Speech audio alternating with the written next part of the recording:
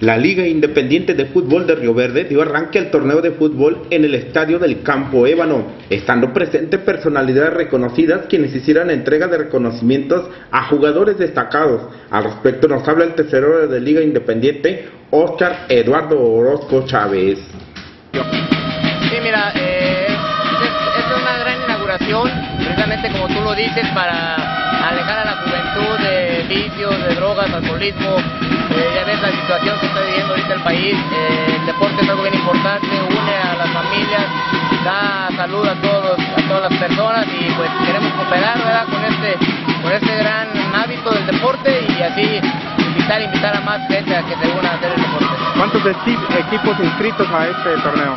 Por el momento la liga cuenta con dos categorías, lo que es la primera fuerza, que ahí son 16 equipos, y segunda fuerza son aproximadamente 18 equipos.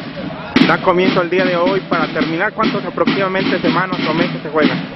Mira, aproximadamente, ahorita vamos en la jornada 12, aproximadamente nos faltan 30 jornadas para terminar más o menos unos 3, unos 4 meses.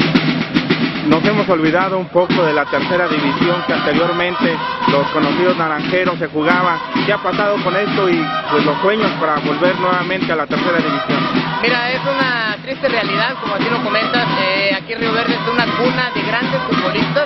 Siempre ha habido gran, gran calidad humana, material humano para tener un equipo de tercera división digno y que a la gente se comprometa con él. Desgraciadamente no se han gestionado los recursos, no ha habido interés por parte de nuestro gobierno municipal para así traer otra vez la tercera división que tanto, tanto quiere el pueblo de Río Verde. ¿Tu nombre completo y cargo, de favor? Mi nombre es Oscar Eduardo Orozco Chávez y soy el tesorero de la Liga Independiente de Fútbol Río Verde. Muy amable. mí un alto honor el que me permitan esta, esta tarde estar con ustedes.